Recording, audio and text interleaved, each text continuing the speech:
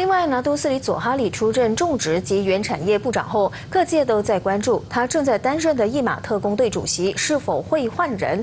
当事人今天到部门打卡上班时就霸气回应，还是由他领导这一个特工队，负责追讨资产和解决一马公司相关问题。InsyaAllah sekarang at this moment I'm still. Right? Okay. Ha? Itu nanti tengoklah siapa ada berani buat buat lah. Ha, okay. Alright.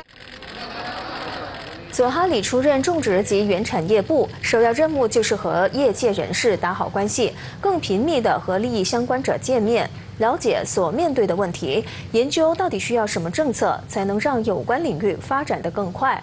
他解释，原产品是我国主要收入来源，而部门管理的五大经济作物，也就是油棕、橡胶、可可。胡椒和木材在目前的经济大环境下，确实面面对挑战。但无论是中小企业或大型种植园，政府都必须做好中间人的工作，推动发展。因为只有商家成功，才能带来更高的税收、更多的工作机会，国家经济才会更好。